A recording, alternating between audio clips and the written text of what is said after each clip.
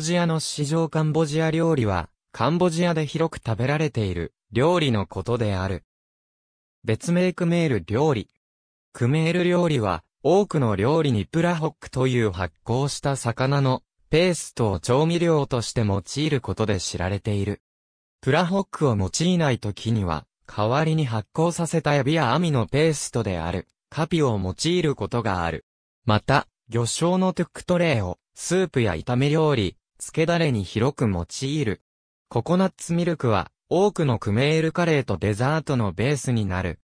カンボジアでは、インディカ種の香り米ともち米が食べられ、前者は主食として、後者はデザートとして、ジャックフルーツなどの果物と合わせたり、ちまきの材料とする。ほとんどの食事は、飯と共に食べられる。カンボジアの料理には、周辺国の影響が見られる。カリーと呼ばれるカレーは、インドの文化の影響の痕跡を示している。中華料理、中でも長州料理からの影響は、多くの種類のライスヌードルに見出すことができる。単に、クイティウと呼ばれる、ライスヌードルの汁麺は、長州人の移住者によって、カンボジアにもたらされた料理で、とても人気がある。また、バインチャエは、ベトナム料理バインセオのクメール版である。カンボジア人は、インドシナ半島を支配した、フランス人から、フランスパン、パテ、コーヒーなどを取り入れた。カンボジアの食事はソムロー、または、スガオと呼ばれるスープ状のおかずとご飯の組み合わせを基本とし、それに、和え物のニョアムや炒め物のチャー、焼き物のあん、漬物のチュロックなどが組み合わされる。カンボジアの献立は、様々な味覚を同時に楽しむために、甘み、酸味、塩味、苦味、渋みが際立つ料理を組み合わせ、唐辛子で辛味を加えることは個人に任せられる。16世紀にポルトガル人が到来するまではアジアに唐辛子はなかった。唐辛子がカンボジアにもたらされるまでは長い年月がかかり、今でも隣国タイの料理に比べてその使用量は少ない。タマリンドはソムロームチュのようなスープの酸味付けによく用いられる。八角はパクローのように肉をパーム糖のカラメルソースで煮るのに欠かせない。ウコン、ガランガル、生姜、レモングラス及び、コブミカンの葉はクルーンと呼ばれる、スパイスペーストのベースとして、クメールの煮物や、ほとんどすべてのカレーに、不可欠の香辛料である。クルーンカルダモン、八角、クローブ、シナモン、ナツメグ、生姜やウコンなどの多くの材料を用いた、スパイスペーストの使用が、インドからジャワ島を通じてカンボジアに伝えられた。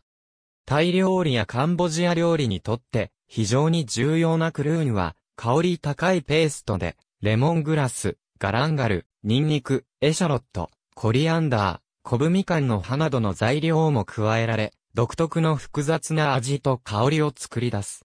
現在のクメール料理に使用される多くの野菜は、中華料理や他の東南アジアの料理に用いられる野菜と共通している。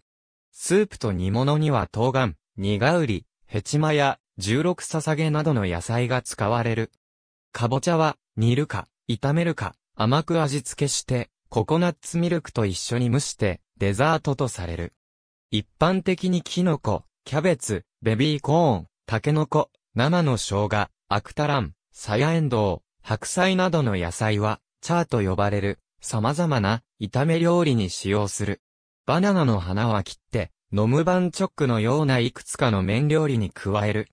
カンボジアには多くの果物があり、ドリアンを、オー、マンゴスチンを、ジョー、サポディラを、王子、ミルクの果物と呼ばれる、スターアップルを王女とする、果物の王室まである。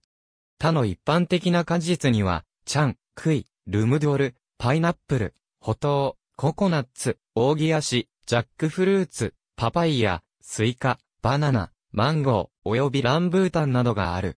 果実は通常デザートとされるが、熟したマンゴー、スイカ、及びパイナップルなどを干し魚と飯と共に食べることもある。また、ドリアン、マンゴー、バナナ、ランブータン、パイナップル、パパイヤなどを砕いた氷、シロップ、コンデンスミルクなどと一緒にジューサーにかけて、トゥッククロロックというスムージー風の飲料を作る。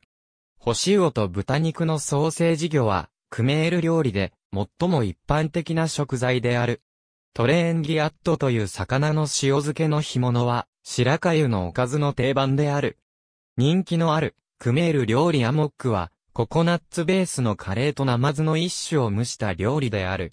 豚肉は、トワーコーという甘いクメール風ソーセージの素材として人気がある。牛肉と鶏肉は、スープの具、煮物、焼き物、または、炒め物とされる。魚以外の魚介類では、カニ、シャコ、ザリガニ、エビ、イカ、二枚貝、巻貝などが食べられる。ロブスターは、高価なために、一般的ではないが、中産階級と富裕層は、南部の港町シアヌークビルでロブスターを賞味するのを楽しむ。中国のチャーシュー風に調理したアヒルのローストは、祭りの間人気がある。また、カエル、カメ、そしてタランチュラのような様々な節足動物も食されている。これらは、海外のクメール料理店ではなかなか見られないが、カンボジアでは一般的な食材である。クイティウカンボジアの麺料理の多くの要素は、中華料理とベトナム料理の影響を受けているが、それでもクメール独自のバリエーションが見られる。プラホックは麺料理には決して用いない。ライスヌードルはカンボジア風炒め粉のミーカタンに用いる。中国の炒め粉とは異なり、麺の上に炒めた牛肉と野菜を乗せ、その上に入り卵を乗せる。ビルマ風の麺料理、ミーコラーは、細いビーフンを蒸して、醤油とニラと一緒に調理した菜食料理で、細かく砕いたピーナッツを振りかけ、チュロックという野菜の漬物、錦糸卵、甘いニンニク風味の魚醤を添えて食べる。ミーチャーは、肉や野菜が入ったチャーメン。インスタント麺や生麺を使用し、魚醤ベースの甘辛いタレで味付けをする。アーモックバインチャイボックロホンコーチャークニエイプリア、ラパウソンクチャーウィキメディアコモンズには、カンボジア料理に関するカテゴリがあります。ありがとうございます。